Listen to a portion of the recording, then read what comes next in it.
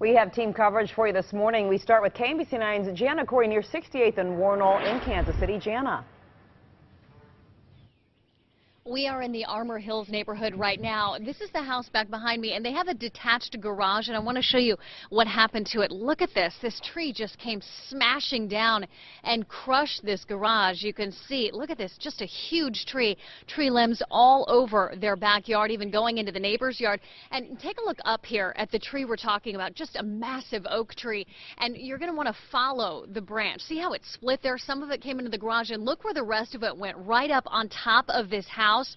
I talked with the homeowner, and he says they've actually had rain right into their bedroom. That's how much damage we're talking about from this tree to the roof here. So a lot of cleanup. Again, we are at 68th near Wornall in the Armour Hills neighborhood, and just so much damage. And what's interesting is looking around this neighborhood, you see just a few scattered tree limbs in the streets, but for the most part, this is really the only damage. So it's really hit or miss. We've also we've been talking with Prairie Village Police, Overland Park Police.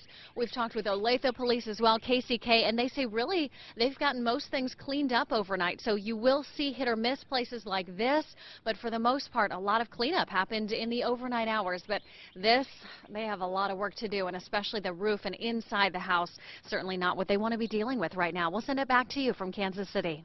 Continuing coverage of last night's storms, KMBC 9's Brenda Washington is live checking out damage in Johnson County. Brenda?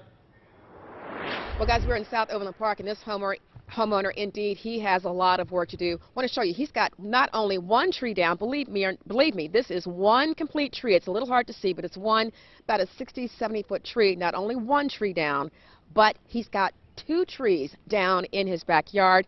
This tree also about 60, 70 feet. It's laying across his swimming pool, as you can see here. Now, the homeowner says this happened just as the storm was hitting Overland Park sometime around 7, 7.30. He heard a loud cracking noise, then he heard a boom.